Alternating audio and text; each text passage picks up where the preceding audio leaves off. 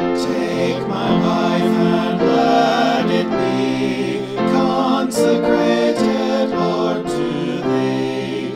Take my moments and my days, let them flow in ceaseless praise. Take